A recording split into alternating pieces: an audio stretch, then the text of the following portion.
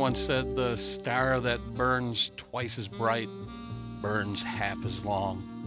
And you could apply that quote to any number of uh, Hollywood stars that, uh, when at their absolute peak in their career, uh, they were taken from us for one reason or another.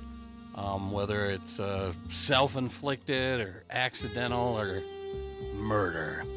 Um, and that seems to be the case more often than not. And you can't help but uh, be left wondering what might have been, you know, had they uh, not been taken from us uh, at such a young age, what was next for them, you know, when when you talk about John Belushi, there was uh, the word on the street was that he was going to be in Ghostbusters before uh, he uh, his life was tragically cut short. And Chris Farley, from what I heard, a project that was a passion project of his.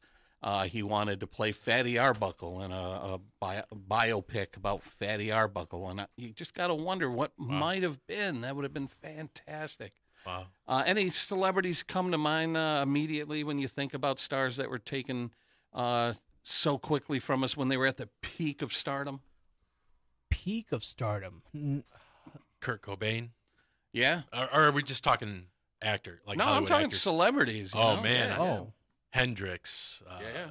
yeah. River Phoenix. Yeah. Yeah. Yeah. Joplin. Uh, yeah. And uh, yeah, so it's unfortunate, but you know, I guess on the plus side is uh, they'll be forever young. That's how we'll always see them. You know, we'll always picture a young Marilyn Monroe. Imagine how different things might be if she would have lived to be 90. You know, Right. So she's eternally youthful. I guess that's one of the the uh, bonuses of uh, cutting out early. Is uh, you'll always remembered uh, at your peak. You know. Uh, unfortunately, I'm past my peak, so I'm, I'm good. I'm gonna, come on, easy, Joe. I'm going to hang on for a little bit there for him. Um, so, segueing that into uh, my first topic here today, um, my topic is going to cover uh, a couple of names that were taken from us at a, a, a young age, taken too soon. And coincidentally, all of these actors have something in common, and that is they all acted in the movie Rebel Without a Cause. Um, now, you know, there are movies out there that people say were cursed because several actors met uh, strange or horrible demises. Um, but that definitely applies to Rebel Without a Cause. Uh, the, the three main actors all were taken fairly young. Um, and uh, there's another actor in the movie that um, lived a little bit longer, but just had a sad demise. So, for those of you who aren't familiar, Rebel Without a Cause is a 1955 Warner Brothers movie uh, directed by Nicholas Ray. Uh, it starred James Dean, Natalie Wood, and Sal Mineo, uh, and in a supporting role, Jim Backus, uh, Miss, Mr. Howell from Gilligan's Island. Oh, So you might it's been include years since I've seen the movie. I do not remember that. you might include him in the curse if uh, that he got stuck acting in Gilligan's Island for a number of years. Oh, we're just taking shots at classic TV here, Joe. Come on. oh, Lovey.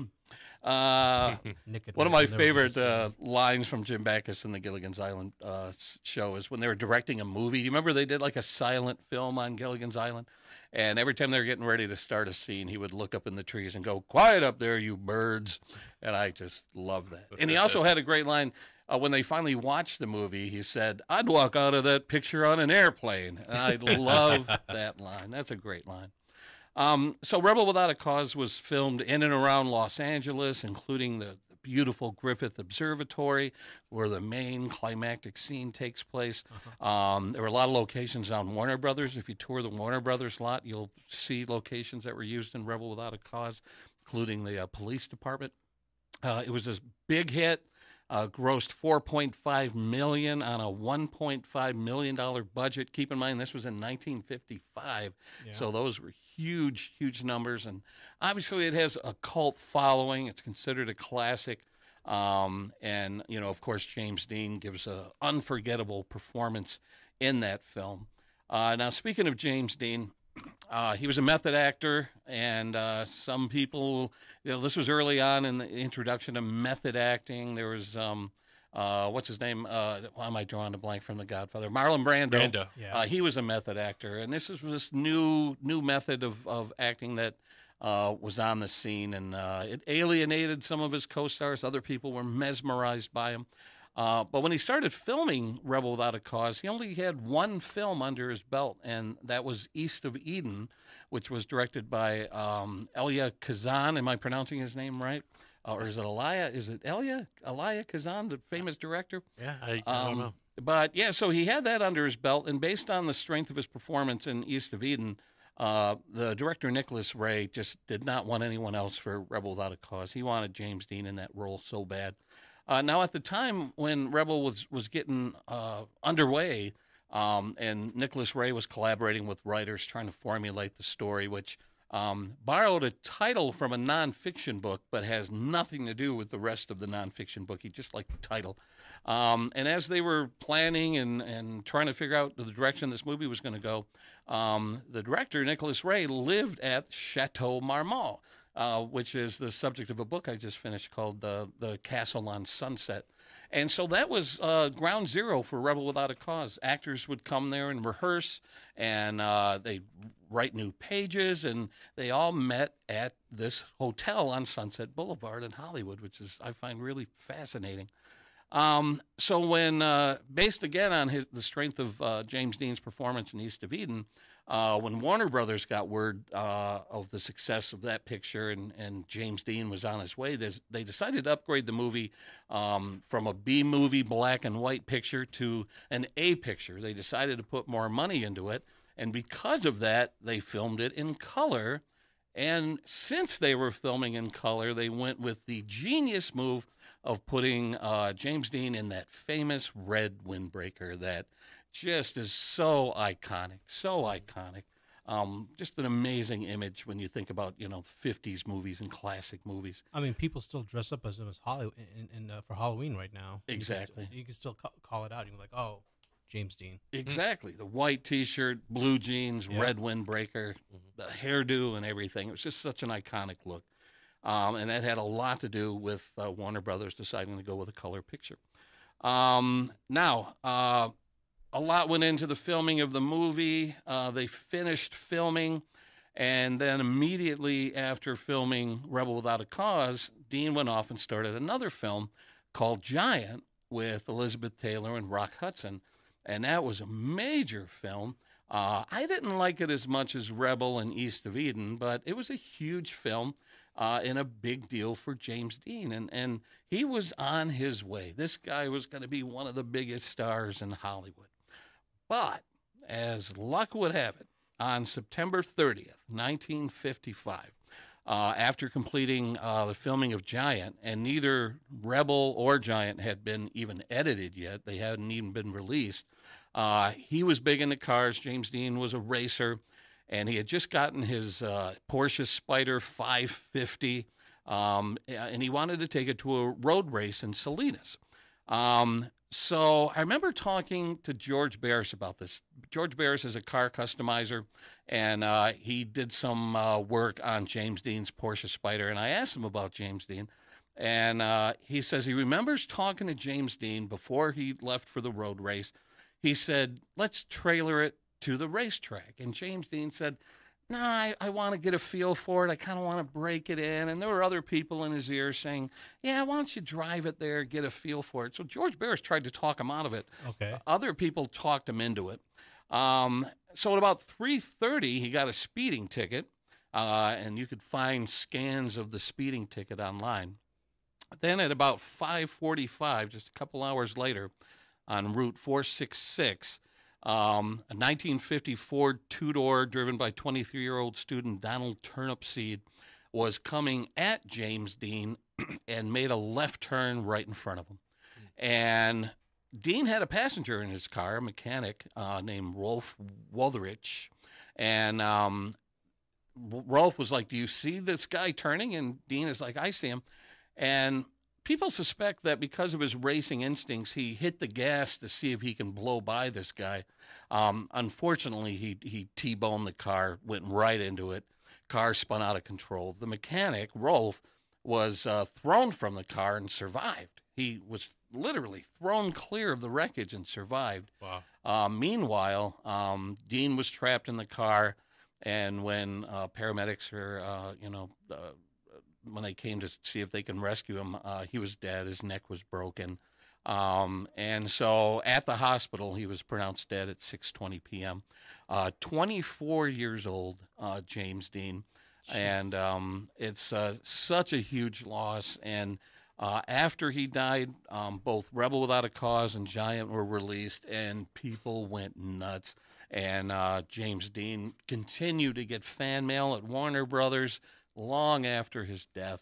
Um, and it became this huge phenomenon. I mean, if, if you were to make sort of a, mo- a modern day comparison, it's it's kind of like um, Brandon Lee, like he had filmed The Crow, Uh, but before The Crow can get released, uh, he was shot on set uh, in a horrible accident. And so here you are watching this movie in theaters where he plays a guy who gets killed and comes back to life. Um, and there he is on the screen, and, and it, it's hard to register that he's gone because there he is. But there's James Dean on the screen in, Wait, in was these great was, movies. was Brandon Lee shot by Alec Baldwin also? no, he was not. Okay, I'm sorry. Yeah, he, uh, I'd be really uh, suspicious of Alec Baldwin if he did that multiple times. Um, so yeah, so uh, James Dean was originally uh, he grew up in uh, Indiana. I visited his hometown, uh, got access to his home and stuff like that, which was really really cool. And he's uh, he's buried in Fairmount, Indiana, in their cemetery. Um, his tombstone was stolen to add one more footnote mean- on this story. Uh, in 1983, uh, it was discovered four years later, but uh, after they had replaced it. Um, but yeah, I got a tour of his home, and uh, one amazing moment for me was his cousin Marcus, who currently lives in Dean's boyhood home, uh, took us to this nondescript building. It looked like maybe an insurance office or something. And he took us in, unlocks this door, and you see cars and memorabilia and all sorts of stuff, a motorcycle. right. And uh, he says, Here, have a seat in this car. And it was like a burgundy car. I, I think it was a Ford. I can't remember exactly. I sat behind the wheel. I said, What's the significance of this car? And his cousin said, James Dean took this car to prom. Oh, And I was sitting behind the wheel with my hands on the steering wheel going, I should not be sitting in this car. It was really amazing. you know, um, what's that?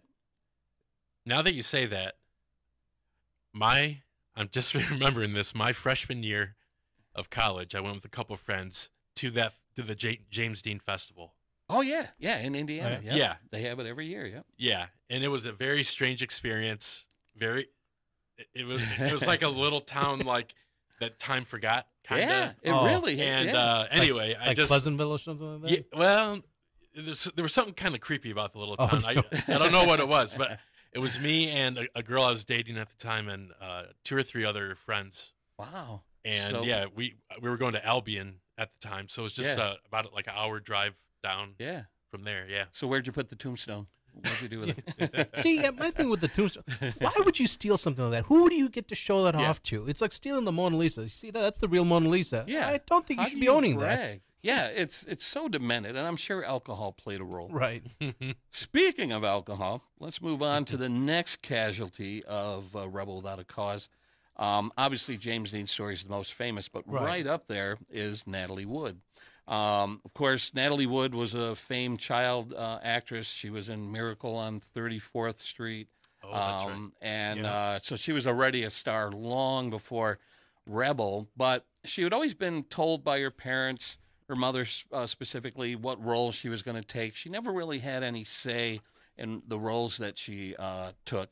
And it wasn't until Rebel uh, came along where she's like, I want that part. There's a part for a teenage girl. I know I'm perfect for it.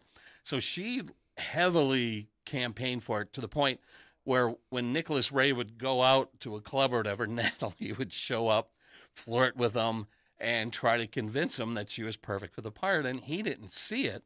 Um, so he kept searching to fill that role. Meanwhile, a 16 year old Natalie basically threw herself at this director and they began a love affair. Oh. He was 44 Okay. at the th- time. all right. There we go. That's. she was 16. I was waiting for this because I was like, when does perseverance become stalking and then, Yeah. and then escalate into something? Oh wow.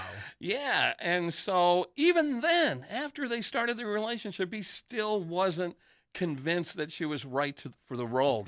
Well, Simon, go ahead. He's committed statutory rape, and he's still not sure if he should. At Yeah. that point, you give her the role. Yeah, exactly. But you're going to prison. So I guess he, you know, I have to imagine he dangled it like a carrot, you know, to let her think that maybe she had a shot. I don't know. Oh wow. Well, simultaneously, while she was having this uh, love affair with the director, she also was uh, dating um, a young uh, Dennis Hopper.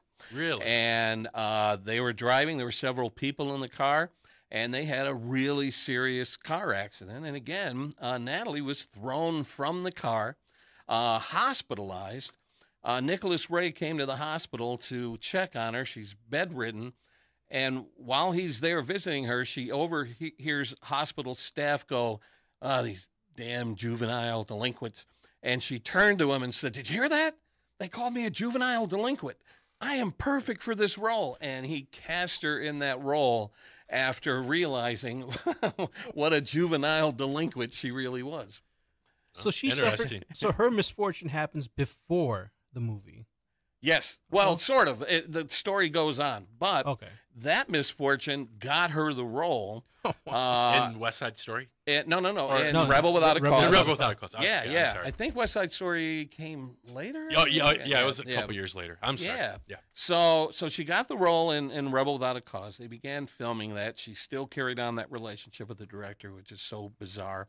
Uh, and she went on to have an amazing career in West Side Story, Gypsy, and a movie I just watched the other day, The Great Race with Tony Curtis, uh, which she was Oh, yeah. fantastic in. Haven't seen Um, either one of those. Oh, that's yeah, it's no, a- they're, they're a lot of fun. They're great. Jack Lemmon's great in that movie. Oh yeah, Professor yeah, Fate. he's so over the top. Yeah, yeah, he was just great.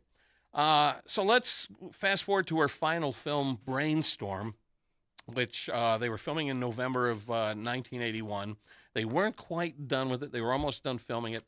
And this is the part that may sound familiar to everybody listening. Uh, Natalie was on a yacht with her husband at the time, Robert Wagner, and uh, co-star from Brainstorm, Christopher Walken of all people. And the story goes, and this, you know, you read different sources and you hear different things online. Um, but supposedly, uh, Robert Wagner caught Natalie uh, flirting with Christopher Walken, and he was not ha- happy. Everybody had some alcohol in their system. There's uh, the captain who was also on the, the yacht, Dennis Davern, D A V E R N.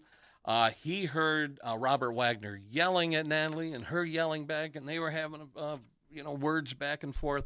Um, well, Natalie disappears off the boat. Uh, a witness heard a scream. Um, now, one thing that's really suspicious, and I'm not accusing anybody of anything here just yet, um, but for some strange reason, the captain said that Robert Wagner interfered with the search efforts. And I'm not sure what's happening there. She's off the boat. They suspect she may be in the water. The the captain wanted to turn on a searchlight, and Robert Wagner talked him out of it and like hampered those efforts. yeah, did it? So you, you mentioned a searchlight. Did it happen at night? Yes, it was Okay. at night. I did Yeah. not know that Yeah, fact. so Okay. everybody was like getting So- ready for bed and I mean, everything. Maybe he did some sort of misdirection. Say, "Oh no, she fell off that side of the boat." Uh, Yeah. who knows? So but the next, if, if if that hearsay is true, then uh, I mean, yeah, yeah, I mean, Yeah. nothing smells better than just saying, "Hey, guy, uh, nothing to find here. I guess we got to call it, guys." nothing My, the woman here. who I'm married to, one like- of the most famous actresses of our time. Yeah. yeah, yeah. yeah. Bob, this is your wife. It's at night. Shouldn't we look for it? I'm Yeah. she'll she'll make it. She knows where to go. yeah. She'll swim. I think it was actually Robert Wagner's character in Austin Powers was the one who killed her. That's right, number one. Yes, or number one. two. Number that's two. what it. Number two. That's right. Yep, number two. So the next day, uh, Natalie's body was found about a mile away from the ship. Uh, there was a, a dinghy um, missing. Uh, the official account is she had some alcohol in her body. They they, they also found painkillers in her system uh, and seasick pills with alcohol in her system. Um, the official uh, conclusion is that after having their argument, she decided she wanted to leave the boat. She tried to climb into this dinghy. Uh, they did find scrapes and bruises and stuff like that, so it's possible she somehow slipped, hit the dinghy on the way out, fell in the water. Um, Hmm. But some people point to those scrapes and bruises that there was a physical altercation on the boat as well. So it's hard to dismiss uh, the the scrapes and bruises on Natalie's body. Do, do- do Um, you think it's possible that uh, Wagner beat her up enough and got her maybe semi unconscious or semi conscious, put her in the dinghy and just kind of pushed it off? Don't know.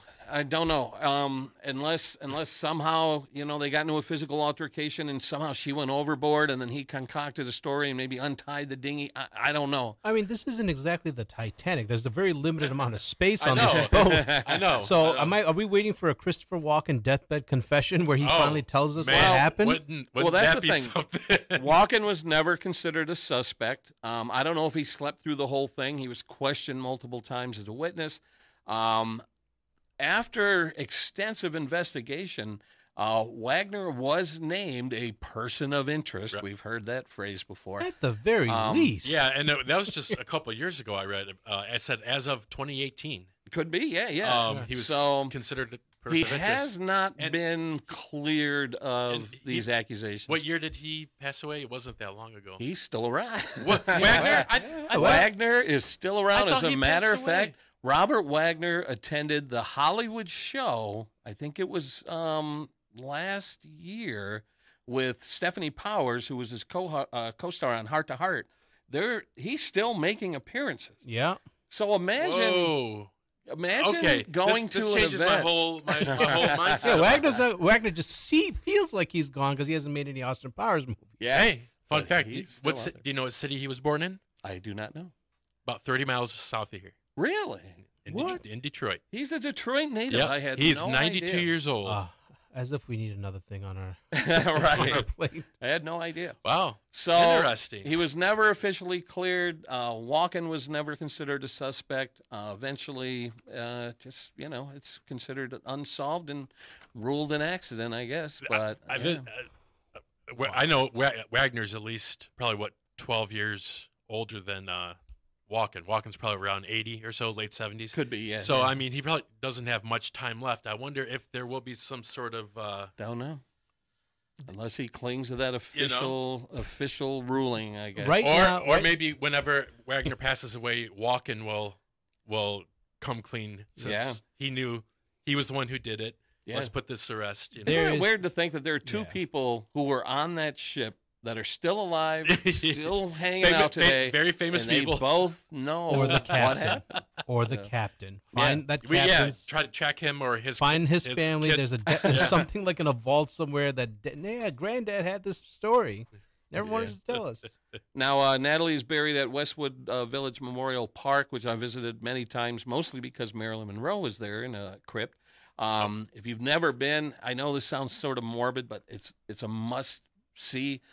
The most famous names in Hollywood are all buried in Westwood Village Memorial Park. Dean Martin, uh, Bettie Page, um, uh, everyone from uh, uh, what's his name uh, from uh, Andy Griffith show. Um, Barney Fife. Oh, What's his name? Uh, I'm oh. drawing a blank. Why am I Don drawing a Knotts. blank? Don Knotts. Don Knotts, Um, yeah. So you you- walk around that cemetery. Oh, Walter Matthau, Jack Lemmon, everybody, Farrah Fawcett, Rodney Dangerfield, right next to each other.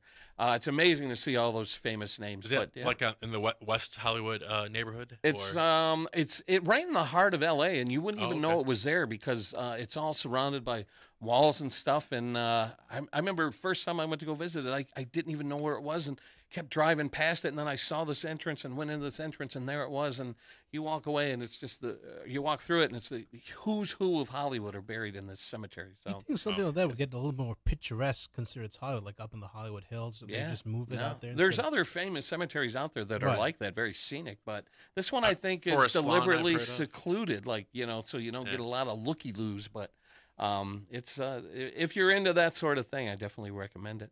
Um, and just to kind of wrap this up, I, I, I- have a bunch of stuff here, but we're running long here. But Sal Mineo, who was 16 uh, in this movie, Yeah. uh, word on the street is he also had an affair with director Nicholas Ray, which Hmm. is uh, interesting. So Nicholas Ray, at 44, had a thing for 16 year olds, male and female. Wow. Uh, Sal Mineo uh, in 1976 was coming home from a play that he was in. Uh, he got out of his uh, car under his carport and was getting ready to head into his apartment when a guy jumped out, stabbed him right in the heart, killed him uh, in the alley. Uh, eventually, they found the guy. His name was Lionel Ray Williams. His girlfriend said he had come home with uh, blood on his shirt and he had a long, long criminal record. Uh, so that was a case of Sal Mineo just being in the wrong place at the wrong time and uh, taken from us at 37 years old. Uh, he's buried in New York. Uh, and then Nick Adams, who had a small role as a gang, gang member in Rebel, uh, he he also dated Natalie, was good friends with uh, James Dean. And on the night of February 7th, 1968, he was found dead uh, in his upstairs bedroom, slumped against the wall. Uh, his autopsy revealed sedatives and other drugs in his body. People that knew him didn't, they ha- had a hard time believing that he was taking drugs, but I think this was a case of being overprescribed and mixing medications. I think that's what caused his death. Uh, it was ruled an accident slash suicide, and it was revealed that his brother Andrew was a doctor and prescribed these sedatives to his brother, and I think he was just overprescribed. Uh, he was only 36, and uh, he's buried in Pennsylvania. Now, interesting footnote on Nick Nick Adams. There's some speculation that he was murdered uh, due to the fact that he was planning to write a tell-all book. Um, most people speculate that he was bisexual and had relationships with men and women, and he was going to write a book, a big reveal, big tell-all, and uh, uh, coincidentally, he passed away.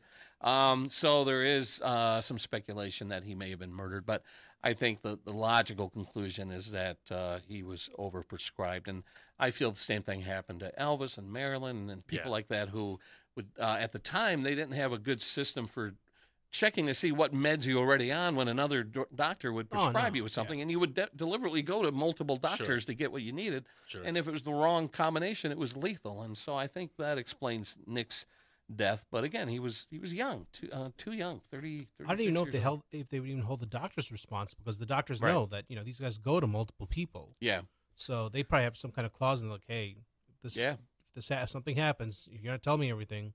Yeah, and how do you say no to a Marilyn, to an Elvis? Uh, Right, They, sure. I think they like that attention. They like having those uh, star clients. And then another footnote is just Nicholas Ray. Um, he lived to be 66, but he he was an alcoholic. He took drugs. People would say when they would meet up with him to discuss ideas, he was just slurring his speech there at the end. And um, he never recovered from James Dean's death. He was really close to him, and um, uh, he eventually uh, died of lung cancer. And uh, or he was diagnosed with lung cancer. In 78, he had a brain tumor removed, and then he died of heart failure uh, in 79.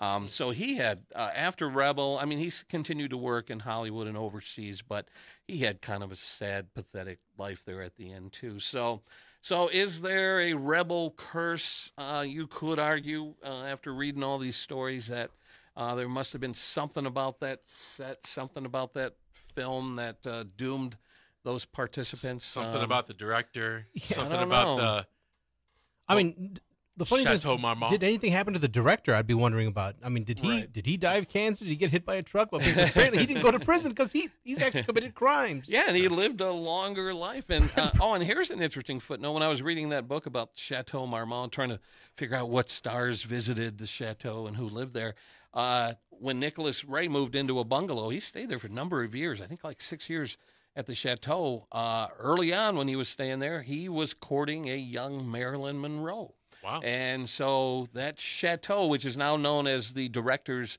uh, bungalow, uh, is where he romanced Marilyn Monroe, Natalie Wood, and all sorts of uh, other Wait, ongoings. Is, that in the the official bungalow. name right now? Is as, as it exists? They Or- refer to, Okay, to just- bungalow number two as the director's bungalow because that's where Nicholas Ray stayed during the filming of uh, Rebel Without a Cause. So But lots but of s- but it's- stories. the it, the hotel itself is still open and called the Ch- Yeah, the Chateau. the chateau is called Chateau Marmont. It's on uh, Sunset. It's named after the street that it's on. okay. Um, it's going to be celebrating its hundredth anniversary real soon. wow. Lots of comings and goings and interesting stories, and just about every famous Hollywood name you can think of, from actors to directors to writers to poets to musicians, they all stayed at the chateau at one time or Ha- another. Has there ever been a, a, a movie that's like taking place there? Yes, as a matter of fact, it might be in my mailbox when I get home today. Um, Sofia Coppola uh, Oh. did a film called Somewhere, I think it's called, and it was entirely filmed on the grounds of the chateau. Oh, so wow. I can't wait to get home and watch that. It's about a movie star who's staying there. He's kind of a has been, Okay. um, and his young daughter comes to visit and stays with him. Um, uh, I haven't yeah, heard of that, but I, I like her as a director. yeah. It- it's I'm called some, somewhere. I think it's called Somewhere. Yeah, I'll verify that. in a Has there ever been but- a documentary on this place? I don't think I've seen a documentary, but that Wow. book, The Castle on Sunset, is riveting. I, I read it in like four days, Okay. and the stories are amazing. So many stories. You know, Jean Harlow lived there with, uh, I think it was after Paul Bern. Okay. Um, one of the sadder stories, I'm getting a little off topic here, but one of the sadder stories there was there was a young couple living uh, at the chateau, and the wife got pregnant, and both her and her husband decided this is no place to raise a baby. We have to get a home. So they found a, a home that was available that was being occupied at the time by Candice Bergen, of all people. Hmm. And Candice and whoever she was staying with, I don't know if it was a husband or a boyfriend or whatever, they were having some problems. They wanted to move out of this home. So this young couple Right. that was at the chateau moved into this house on Cielo Drive.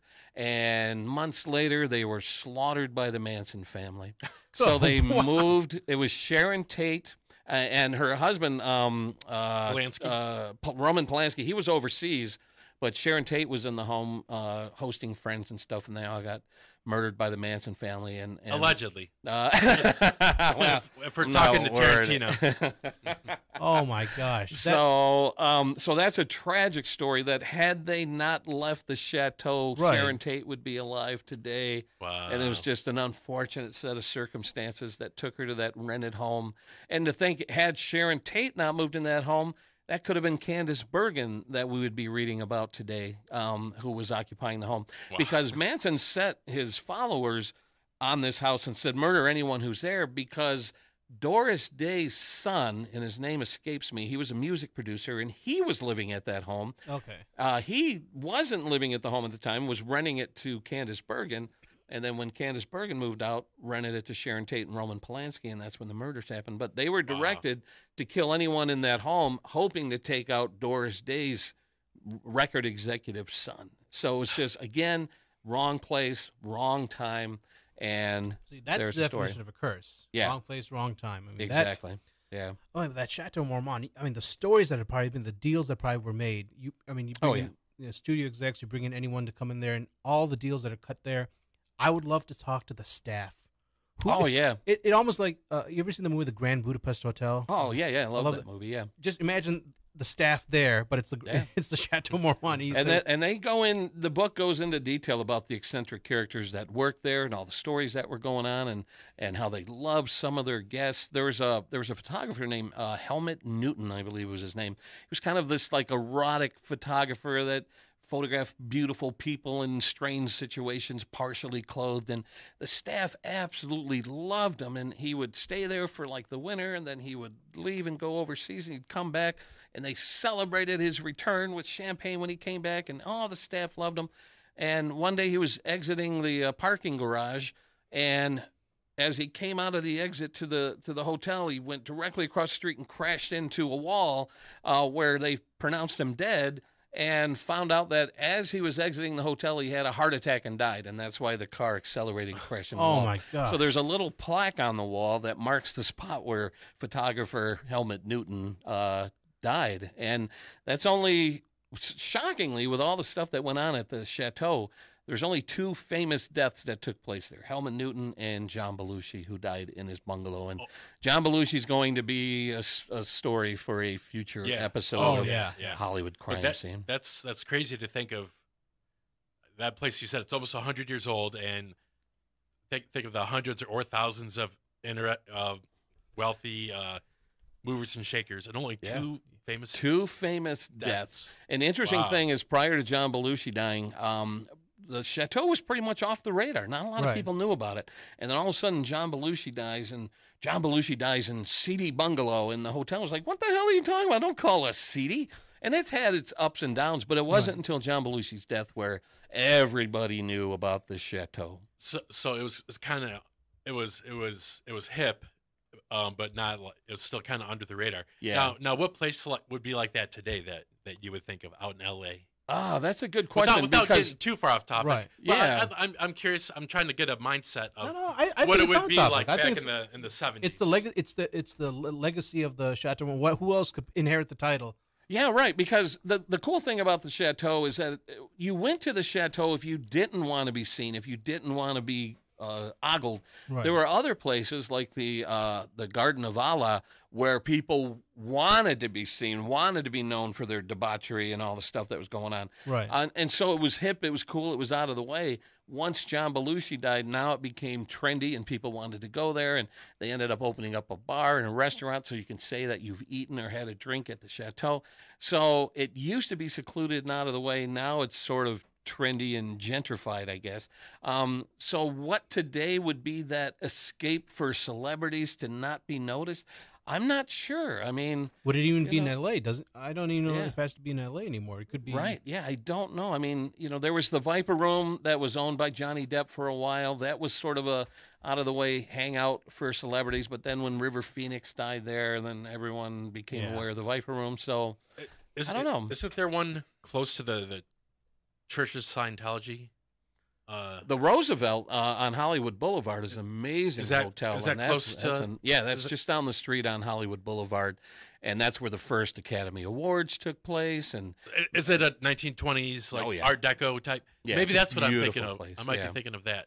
Yeah, the the Roosevelt uh, is. But- I'd love to stay at the Yeah. Roosevelt. Uh, that's another topic for a future podcast. But I mean, I would Sure, be that's a I would be place. shocked if nothing illicit happened at at Chateau Marmont. But I guess they didn't want anything tragic to happen there. So Right, there's a big difference exactly. between yeah, illegal and tragic. I think. yeah, exactly. They managed And- to avoid tragedy. Yeah, yeah. When when it was announced that Belushi had died, they were like, "Oh no, brace yourself," because the paparazzi was outside and everything. Interestingly, s- living in the bungalow right next to uh, Belushi's bungalow. Story goes that Tony Randall lived there and had no idea what was going on.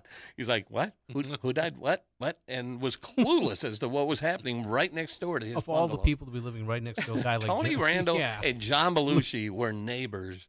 And um, Billy Idol tried to claim, even though the author of the book said it was kind of dubious, but Billy Idol claims that he had he had a big typical Hollywood thing where he trashed his hotel room and everything.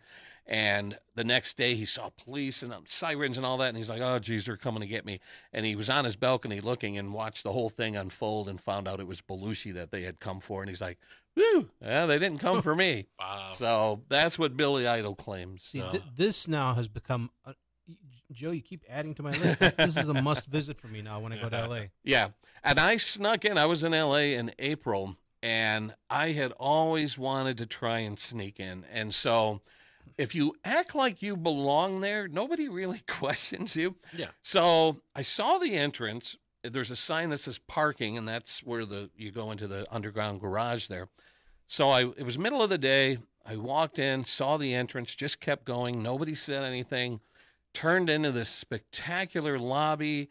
Uh, there's a piano there that apparently was played by Judy Garland, and people would stay there, would all gather around the piano and play this piano. A little bar with stools. It's just so amazing. And I sat down on a, a sofa, just soaked it all in, imagined all the people coming in and out of this lobby.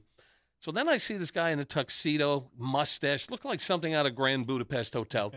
Walks up to me. I'm thinking, oh, he's going to ask me to leave. And he's like, uh, what can I get you, sir? I was like, uh, Coke would be nice. Come right back. Uh, he leaves, comes back with a Coke. I'm sitting there sipping my Coke. I said, hey, do you have matchbook or anything that says Chateau Marmont on it? And he goes, yes, I do. And he left and he came back, gave me a little matchbook. Wow. I left him a big tip and thought, well, that was cool. Nice. Now the bungalow areas, that's keyed access. You can't just go there and wander through the bungalow area. It's very private. That's where the swimming pool is and everything.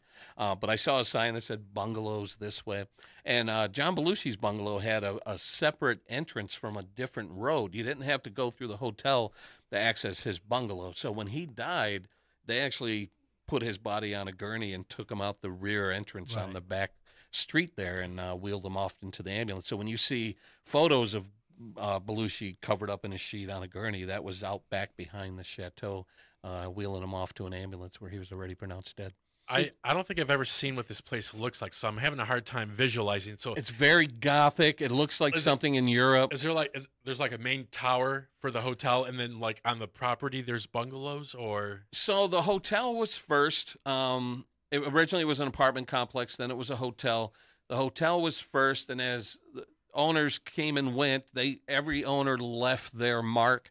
So one of the subsequent owners decided to add a couple of bungalows to give residents even more privacy than they got in the hotel. okay. Later on, another owner added a pool and some more bungalows, and then the current owner added the bar and the restaurant and stuff.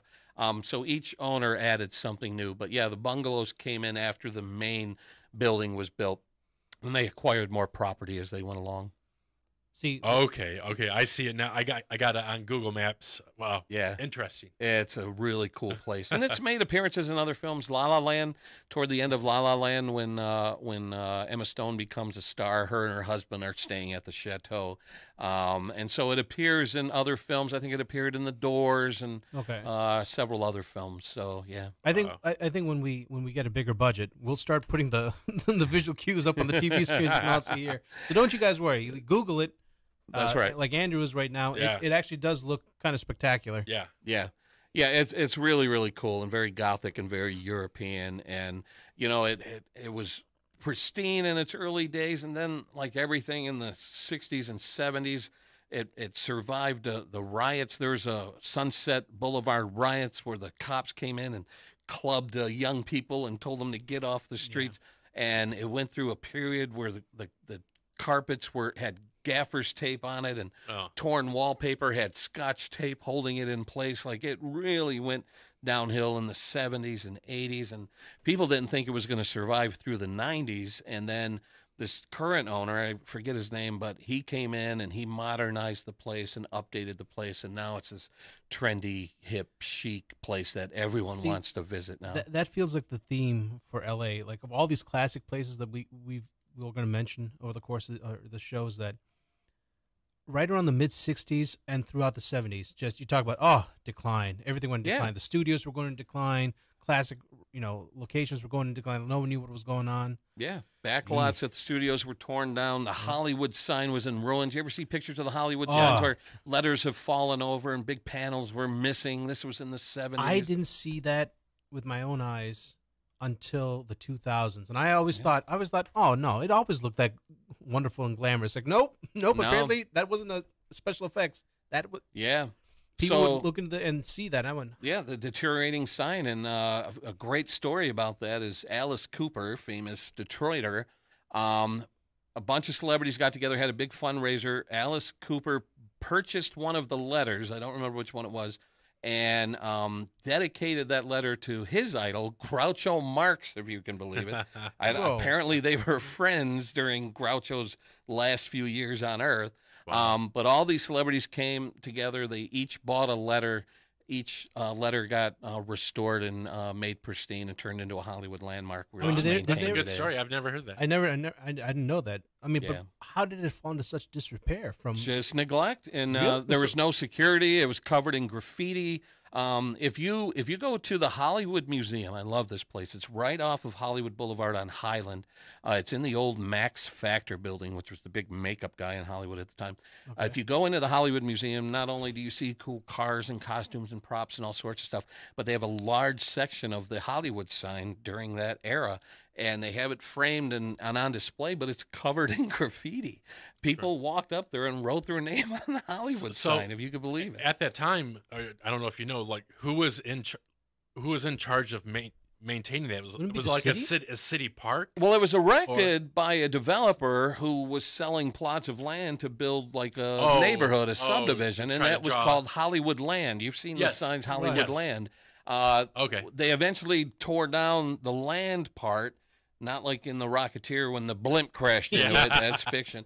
But they took down the land part, left the Holly uh, Hollywood part up, and I don't know who was responsible for maintaining it. Apparently, early on when the sign had light bulbs in it, there was a guy who had access on a ladder and would replace the light bulbs as they went out. But over time, it just got neglected and started to deteriorate. And uh, the Chamber of Commerce, they, they were like, well, do we level this thing or do we restore it? And luckily, they restored it. And now I believe the Chamber of Commerce owns the copyright on it and is responsible for maintaining it. And That's now the- you see people come from all Yeah. over the world Oh, to take a picture in front of the Hollywood Now, sign. if, if there was a proposition to put forward to put back land on it, would you support it or no? No, no, No? because it's so iconic now. And I have a crazy story. I don't know if I shared this with you guys, but when I was in LA in April, uh, I always try to go back to the Hollywood sign and, and get a photo in front of the Hollywood sign. So I have like 30 years of me standing in front of the Hollywood sign. You could watch me age terribly over time. And the last time I went in April, I went to the Hollywood sign. It was on Easter.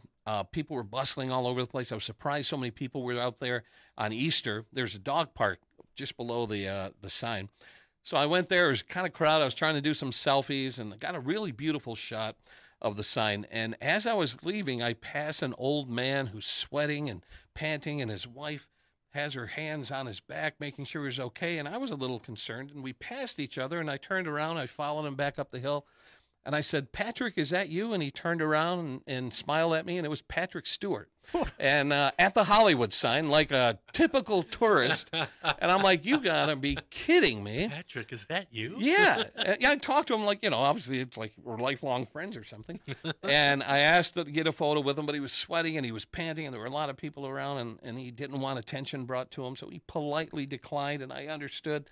But we chatted briefly and I told him what a great pleasure it was to meet him and he thanked me and we went our separate ways. But Nice. of all places to run into one of the biggest stars in the world Wow. at the Hollywood sign. Yeah. That's, that's the magic of LA. That's that's the fun of LA. That's why it's my happy place. I'm surprised the mayor never got involved, or even Sacramento. The government say, you know what, you guys aren't doing what you're doing in LA. I'm, we're taking control of it. It's a historical landmark for California. Yeah. Here's funding. Keep that thing. But think about it, you know, Hollywood Boulevard was full of porn shops and sex shops and every business was was a porn shop. Seedy. Yeah, if you watch a movie, uh, The Howling, which came out, I think, in Yeah. the early 80s, there's some scenes shot on Hollywood Boulevard. Yep. It's porn shop after porn shop after porn shop. New York was the same way. I don't understand why during that time period, 70s and the 80s, it just, all the Time- seediness ran rampant. it's Times Square. You Yeah, go, it's nothing but porn shops and liquor shops. You see all these comedians talk about, like, yeah, Yeah. this is not the Times Square that we remember. If you went to Times Square, you almost expected to be mugged. Like it was part of the New York tourist experience. Like, hey, get a photo. We're getting mugged here. Hey, That's how bad I things think, were. I think I think uh, our city has that reputation right now and has for the last what, 40 years. But I think it's it's gotten better. It's it's rebounding and it's better than but, it but was. it still has a, a, a certain, obviously not as big as, you know, New York or. yeah, oh yeah, yeah. But but, but there's a certain uh, specific Detroit. Uh, uh, I, I guess you could say decay or whatever. but it draws uh, the hipsters and it draws intellectuals and it draws uh, yeah, artists. It's, it's gentrified now. it's, yeah, it's yeah. gentrifying, which you know has its ups and downs. Uh, but uh, but I, I've I've read things of people who have moved from Brooklyn to Detroit saying this is the next Yeah. Brooklyn. So Yeah, you know what's funny? When I lived in LA back in uh, 89, 90, I- just to make ends meet, I worked at this warehouse with people um, from California and Hispanics and everything, and we all got along great. And I remember early on sitting in the break room, eating a lunch table full of guys, locals and stuff, and they were like, "Where are you from, Joe?" And I said, "Detroit." And they were like, "Ooh, ooh." Calm down, man. Yeah. You know, like they didn't want to get on my bad side. Once they found out I was from Detroit, Detroit had this reputation in LA of don't mess with people from Detroit, which made me laugh. I, I, I was at a uh, a resort in the uh, the small town my mom's side of the family lives in in Georgia. Uh, one of my family members had a membership there. I was swimming in the pool. I was probably twelve or thirteen at the time, and just talking with one of the kids, and uh, who was swimming there too. And he said, "Where are you from?" And I said, uh, "Detroit." And his immediate reaction, it was it was uh, it was it was immediate. It was it was base. yeah, He didn't have to think about anything. He goes, "Oh." yeah. He he might have said something like, "I'm I'm sorry" or something like. that. So yeah, it's just it's just one of those things. I mean, Yeah. to tell you how far the absurdity got, I'm Indian. So, you know, it's not like we ever lived in downtown Detroit. You know, we're like, it's, I scream suburb when you look at me. I visited a friend of mine in in uh, Ocala, Florida. This is around 2000. We go to an arcade. when there's still arcades. we- There's this uh, shooting game called Time Crisis where you have to like shoot. The I gun. remember that. Yeah, remember that? Did that? it have the action? Yeah. gun? Yeah. So my buddy and I were doing really well. He moved down there to visit his family. And so his cousin standing over there and saying, Wow, you guys are really good at this game. And she goes, Oh yeah, they're from Detroit. They go, Oh yeah, makes sense. We both stopped and turned around. We're like, Are you kidding me? Two Indian guys You take playing a- target practice Yeah. in Detroit, She goes, Oh yeah, they're from Detroit. It's like, Oh, okay, yeah, that makes sense. honing your skills. Yeah. That's hilarious. Yeah. I mean, I, I guess we were considered like what flyover shadiness because you got the L.A. seediness and New York seediness, but Detroit, no, no, you're not. You don't rank high enough. Right. Yeah, and yeah. and we're we've always been number two to Chicago in terms of you know Midwest. So we've always had to to we've always been the underdogs in every way. Right. Detroit, Detroit needs its own Chateau Marmont. That's right. Detroit right. needs a, Yeah. winning sports team. Damn it. Uh, yeah, that too. Yeah. Even though uh, now we're getting way off topic, but I've been lucky growing up in the '80s and stuff. I've seen some of the greatest Detroit sports Right. teams of all time. So I've been I've been lucky. But now we're going through a If we patch. had if we had our film industry yeah, not cut off at its knees, I guarantee Exactly. we would have had a Chateau Marmont. I agree. I agree. All right, so we we deviated off topic a little bit. Let's return things back to topic. We don't have a whole lot of time left, but Imaginos, Pete. What was the topic you were bringing to the table today? Well, you know, we're talking about locations. I stumbled upon this, and again, I anything that happens on this show, I blame Joe. And I think that's the only appropriate thing. And then I blame Andrew, but I will always blame Joe because Joe will set you on this path. He says, you know, t- take a look. You know, you know, you mentioned the Chateau Marmont. I was like, okay, you know what? Locations. I was going to focus on the what the movie studios did. You know, the kind of like the band. I was thinking like something like Game of Thrones.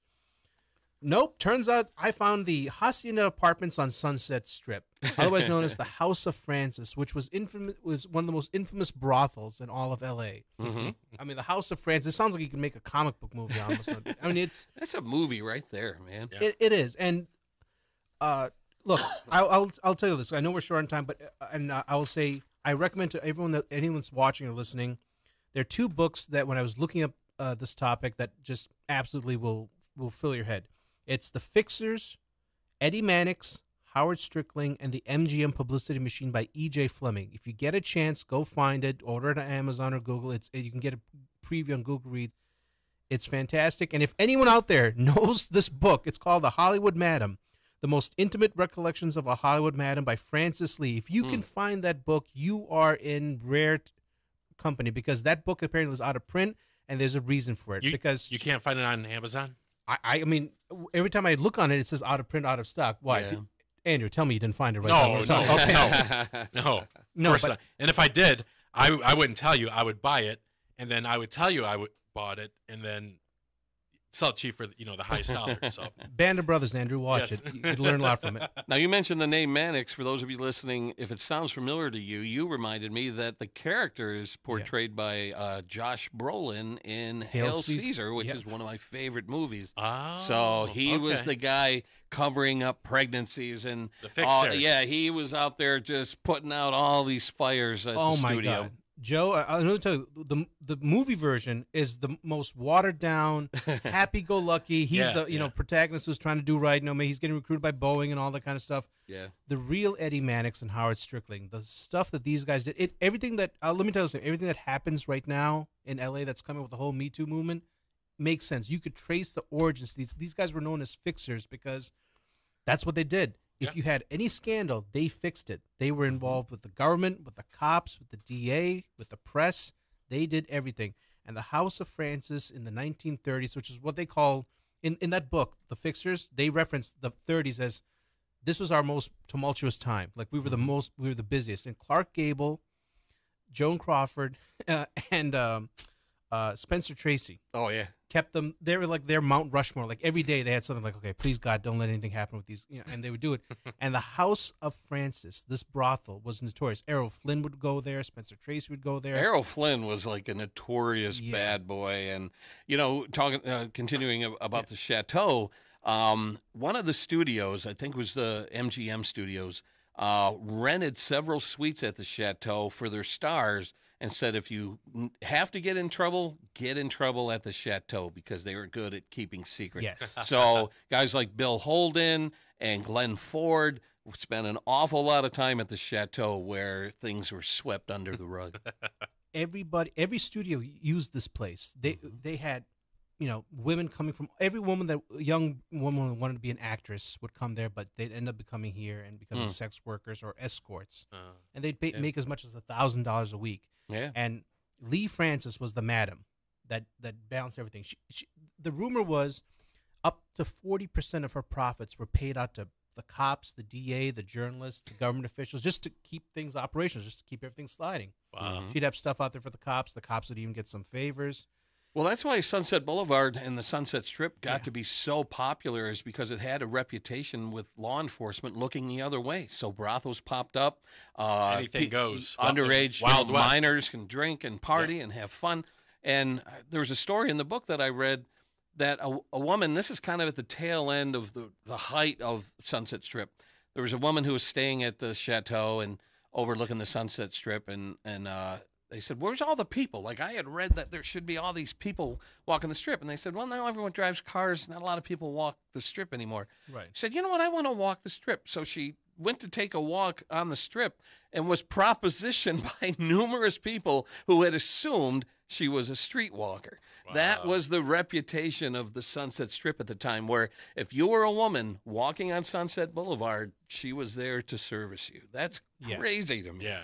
yeah. And that makes an after what you hear has happened on the Sunset Strip, all that makes sense. Yeah. Mm-hmm. And the House of Francis, you know, up until 1940, that's when it got shut down because she, I guess, Lee Francis stopped paying bribes, or in the, and they say the late 30s, around 1939. And in January 1940, the cops raided it, and they went to her house actually, and, and, and they got her. They arrested her along with a lot of customers and clients that were there having a party. The only time she ever got arrested. After that, she faded into obscurity until she wrote a tell-all book in 1986. And again, gotta find it because I'm pretty sure they were like, nope, can't let this get out. Can't Yeah. let this get out. Yeah, when the when the authorities cracked down on the activities on Sunset Strip, Sunset Strip, that kind of ended its fame and reputation. You go there now, and it's kind of nobody's there. You kind of you know, there's clubs and stuff you can go to, but not a lot of hustle and bustle on the strip. Pretty not like in its sanitized. heyday. Oh yeah, yeah, very yeah. very sanitized. Um, and that's because the authorities came in and locals were complaining and people's property values were coming down. And there was a, a little uh, club called the Pandora's Box, which has a little cameo in Once Upon a Time in Hollywood. You have to look for it and you'll see it. okay. Um, but that's where minors knew that they can go and hang out and, and uh, drink and stuff like that. And cops came in and pulled out their batons and cracked skulls. And every night they would come out and the young people would come out and, and do battle with the cops. And eventually the cops won. And Pandora's box got razed because they were trying to take property for freeways Right. and stuff like Sure. that. And that was sort of the end of, of the, the, the legend of the Sunset Strip when the authorities came out with their batons and cracked skulls, and that was Yeah. it. and but the House of the House of France was definitely one of the the, I mean the seedy jewels of the Mhm. Sunset Strip at that time. And just like anything, just like the Chateau Marmont, it fell into disrepair in the 60s and 70s. A fire in 1983 gutted it. But when this thing was in an operation, MGM had its own account there so that its clients could go there and so it, everything would be hush hush. Yeah. Put, put it, just put it on the tab. It's on the MGM Yeah, card. exactly. It, it's almost like when you hear the Wall Street banks go down to the, the and have escorts. Everything's on the, the Goldman Sachs card, allegedly on the Goldman Sachs. oh, Sachs of card. course, of course. Yeah, so that was the that's the nature of Sunset Strip and its heyday. I mean, originally it was hip and it was cool, and Right. you know, Dean Martin had a restaurant there called Dino's, and and it was the place to see, and it was big band, and people would wear tuxedos and dresses and stuff, and you you went to Ciro's and you went to these famous clubs, Yeah. Trocadero and other places, and then over time it started to evolve and. And young people kind of took it over, and uh, yeah, Trocadero, that was the club that was owned by Thelma Todd's friend, and that was the party that she had gone to the Oh, night wow. before. Yeah. Yeah, so there's there's a little bit of connection to these episodes. I mean, it's all there when we talk about Hollywood crime scene. I mean, yeah. I mean, what what the House of Francis was involved in was was amazing, and they the the business got so much that they opened up another place called Mae's, based on Mae West, Mhm. and MGM opened it up. It was a private location because they said we're spending so much money, let's just move everyone over there, and they would hire women to look like the actresses that they had. They would Oh, get yeah. surgical surgery done. Yeah. Really? So clients could look and say, "Hey, I'm really sleeping with Joan Crawford." I did that with air quotes for anyone that can't see. They would actually But that was- surgery done to look like.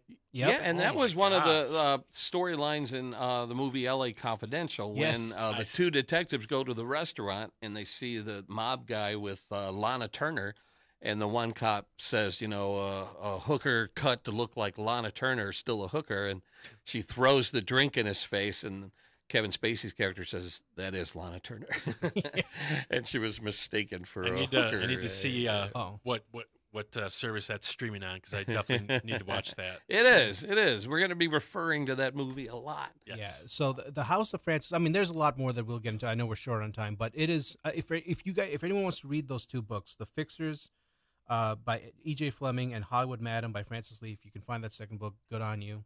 Let me know, please, Love that stuff. Okay, because there is so much stuff that go went on there. I mean, they they were talking about you know people getting abortions and they had to hide them, and you're talking Oh, about yeah. bisexual relationships. They had to keep that out of the press. Yep. And the House of she had she had information on everybody. So at some point, you know that they were like, okay, the sword of Damocles is going to fall on someone. Like, Like like Yeah. Jeffrey Epstein. Had, Yeah, had something right. on everybody. Or Gi- what's her name? Ghislaine or whatever. I mean, Ghislaine imagine Ghislaine. the Ghislaine books Maxwell. that she has with names in it. I mean, I have to imagine someone has or what the burned FBI those has. at some point. They yeah. rate when they raided Epstein's compound. the Ooh, FBI took all the servers now, so we they're just sitting there unless it's like, oh, it's you know gigabytes of nothing. Really? interesting. Yeah. Yeah, yeah. Andrew, what'd you bring to the table today? Okay, I uh I brought uh to the table uh the story of uh Brittany Murphy, uh Ah. young actress, well, passed away uh pretty young, uh fairly young, 32. Yeah. Uh uh I was never super familiar with her. I just remember her you know just being a uh, a, a hot young actress just, you know, a couple years older than me. She was in Clueless, which uh, Right. made her a, Yeah. a pretty common. a- uh, apparently that was her breakout role. I've never seen Yeah. Clueless and looking at her, her filmography, the only movie I've seen, and she has a very small role in it because everybody's in this movie is Sin City. Sin City. Yeah. Oh yeah, yeah. Um, so I'm not really familiar with her at all, but her death is very interesting. So I'm just gonna kind of go more towards that. Uh, uh, apparently, uh, the press and uh, people in the public had said that she looked like she uh, was on drugs because she looked uh, very sick. thin and very thin. anorexic almost. Yeah, yeah. It was Yep. compared to her clueless years. Mm-hmm. You know. and um, I don't, I don't know, maybe even like uh, eating disorder, and I know that's still a very common thing. Um, I, but I don't know if, if that was a thing with her. But uh, Allegedly. yeah, allegedly. It'd be So par for the course for Hollywood. anyway, uh, she married a dude uh, named Simon Monjack, um, who was who was involved in Hollywood somehow, you know, behind the scenes type of guy. Um, and she uh, she had passed away. Um, Yeah, it was very sudden and yeah, Yeah. very it's one of those deals where you're like, wait, are are they talking about this the Clueless actress? Like, Right. really? Right. So it was it was a couple days before Christmas 2009, and early in the morning, um, she was found uh, unresponsive by her husband Monjack. Uh, they took her to Ce- Cedar Sinai, which is uh, a very popular uh, hospital there in, the city. Um, and apparently, she died from cardiac arrest. Um, the cause of death was officially pneumonia, but what they found in her system was let's see if I have the list here elevated ele- elevated levels of hydrocodone, Oh wow. acet- acetaminophen, Okay. L-methamphetamine, and chlorpheniramine. I don't know what that last one is. They're all legal, uh, but Should apparently never be mixed. no. Uh, yeah, especially with the Vicodin and the uh, meth, whatever that L-methamphetamine is. But apparently, she was had a really bad respiratory infection. Hmm. Uh, so she passed away officially, uh, per the doctors, of pneumonia. Um, Oddly, none of those are, are antibiotics that would help fight that respiratory yeah. infection. So right. so and a you lot know, of those we- can cause respiratory uh, distress. Okay, so uh, five months, uh, almost to the day, five months later, her husband in the same house dies from the same exact thing, Hmm. which I think is pretty interesting. Yeah. So apparently, he his death was attributed to acute pneumonia and severe anemia, which also I failed to mention. She also had anemia. Wow. That's So- weird. Was his house built on an ancient uh, Native American burial site or what? So uh, I mean, it gets weirder. um, uh, uh, Brittany's father uh, tried to sue, saying uh, that uh, you know I, I want I want you to exhume her and get a lock of her hair because uh, you know I think something might have happened. So in November of 2013, he did get a toxicology report, Wow. and well, he claimed that he has a report showed that she was deliberately poisoned by heavy metals, including an- antimony. I haven't heard of that. Antinomide? It antimony? I A- antimony. Antimony, okay. Yeah, I thought that is, is that like alimony or I don't know. I've only seen it in print. I don't think I've ever Yeah, I it haven't either. but and barium, which I know is on, Yeah. is an element, but I don't know Yeah, what yeah. it is, and was a possible cause of his daughter's death. so what was um, he saying? What was he accusing somebody of? Of of, of uh, So, just someone just trying to kill her. Wow. so he's accusing the LAPD and the dis- California District Attorney of incompetence, basically, of mi- misman- of classifying it as a oh, it's just a Yeah, accidental death of pneumonia, no natural causes, and then you could say barium and yeah. Now, is there a reason someone would have wanted her out of the Not- way? Not not not that I It's so bizarre. um not that I know of. So first, I share with you her her dad's point of view, which seems Right. kind of kind of far fetched. Now her mother, her name is uh. Well, it doesn't matter what her name is. So, uh, Sharon Murphy. okay, She said that um, that the health the health department uh, she she had the health department uh, or asked them to check the house for dangerous mold that may have caused like a respiratory right. thing. Um, and then uh, I guess uh, two years later, after she had died, the the mother had said, "I'm I'm convinced that it was the mold that killed wow. my daughter," but nothing nothing since then has come about it.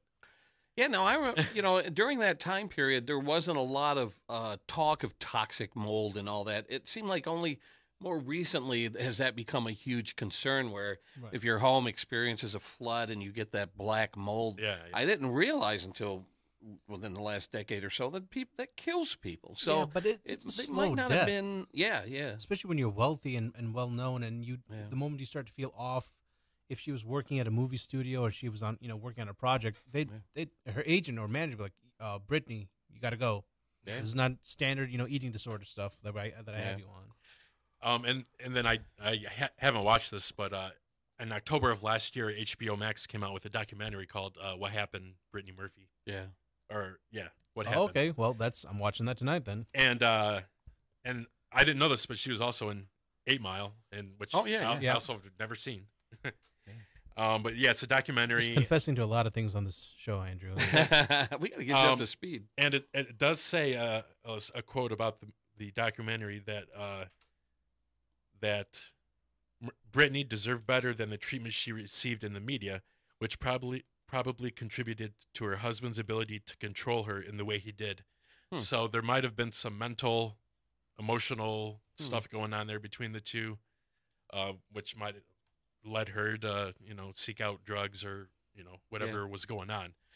But uh, I would I I would like to you know do a little bit if that's the Deeper case dive if, in. if they if they believe that the husband contributed in such a significant way to her death then is his death revenge killing allegedly i mean is that a, s- for him to die in the exact same s- house in the exact so- same way sounds like karma more than anything. Right. yeah I don't know. I just I thought it was an interesting coincidence. Um, yeah you know, five they died five months apart from the same thing. Yeah. The mom probably has a, a logical reason to say, hey, sounds you know, yeah. some something was messed up with their lungs. They both had uh, acute anemia, which I don't know what that would. But if it Big co- was I mean, from- anemia is you know usually it's it's- it's not just blood loss it's because you know you have a low blood count Yeah. you, you know could Yeah. be bone marrow problems it could be from poisoning could do that So Certain yeah, types of poisoning can do I that just, kind uh, of I- Interesting. I remember when that story broke. What thir- thirteen years ago or so. I remember hearing about it and I'm like, oh, I know who she is. Yeah, I, I saw her in that one thing one time. You know, See, but for- beautiful, beautiful woman. Uh, I, I could see her going on being, Yeah. uh, you know, being pretty big. And then I remember n- never having any uh, conscious like closure about what actually happened because I remember hearing something different uh, Yeah. not long after that she had passed away. Uh, so I wanted to just kind of revisit that to see if anything had yeah been resolved and nothing yet. But What's your conclusion? I mean, based on your reading and, and uh, investigation, what what do you think is the likely conclusion? I Does think the, the mold sound like the most. I, uh, I, I think yeah, I think it was it was probably a, a, like a long like a slow thing that got Yeah. both of them, yeah, but she was definitely weakened with something else. Yeah. whether it was drug use. drug or, use. yeah. Uh, oh, come on, Andrew, jump off the crazy branch. Let's and and uh, you know, uh, don't be rational about this. an, an emotional an emotional thing that brought her down physically. Like apparently the way Mhm. uh, her, Her husband. husband. allegedly treated her. Uh, we'll, we'll know more, I guess, if we watch the documentary. Mhm. Um, Go full Harvey Weinstein on this. but- Let's loop but- him into this. but but uh, I mean, ultimately, it was. I think ultimately it was that mixture of, of Vicodin and Yeah. you know, but Yeah. I mean, and the- she was probably took a little bit too much. Right. Even though she, you know it was all legal and it was all prescribed. That's exactly um, what we were talking about earlier. There's just the over yeah. prescribing of medications and, and, and even if it's not prescribed, if if Oh, you're you, fa- you if take you're a, you take a friend's. if you're uh, one third of the way famous, you can get whatever you want. Exactly. You know? Right. So Yeah, it, it's horrible. So yeah, that uh, that's a, a good way to end the uh, the podcast on those taken from us uh, far too young an age. Uh, here's someone who, based on the success of Clueless, could have used that to catapult her to stardom, and unfortunately, uh, her her life and, and career went in the other direction, and You know, it's just heartbreaking. It just Mm-hmm. occurred to me I did not pay attention to the assignment because you mentioned people that were taken too early. You brought some of those taken too early. I mentioned the brothel. That's all right. it all kind of tied into the chateau and all that other stuff. And uh, yeah, I mean, we could do a whole podcast just on the Sunset Strip. It's Yeah. amazing history, and um, yeah, and there's just no shortage of stories for us to talk about on this podcast. So, Yep, yep. Uh, any final thoughts before we kind of wind things up here?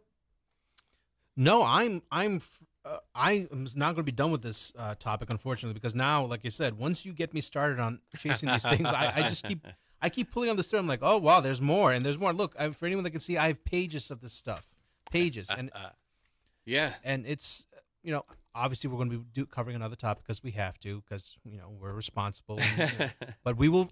I promise we will revisit some of this stuff in, in the future because some of these do overlap. Well, it's funny, you know, you, we've used the term rabbit hole where you start on one thing and then you learn about other things, you know, and reading that book, uh, uh, The Castle on Sunset, and reading all the sordid scandals and stories that went on there, that led to all kinds of ideas for topics for future podcasts um, from the whole uh, uh, Jean Harlow story. Yeah. Her ex husband who died a mysterious death, and John Belushi and uh, and Jim Morrison and all the all the people that are connected to that hotel is going to be uh, fodder for future podcasts. I mean, So, we could nice. do we could do an entire show on just these fixers, Eddie Mannix and Howard Strickling, and just just what they've done because they their story covers from the twenties all the way to the fifties, yeah, right exactly. until like the decline of the the major studios when MGM and all those guys were starting to like fall by the wayside. Yeah. All right, guys. Uh, another great one. Uh, Imaginos Pete, Andrew Walker. Thanks for joining me today. Joe thank Johnson, you. thank you for Thank having Joe. us Yes. as always. I'm really in my element here. I really enjoy our conversations here. So we will see you again uh, real soon. yes. Thank you.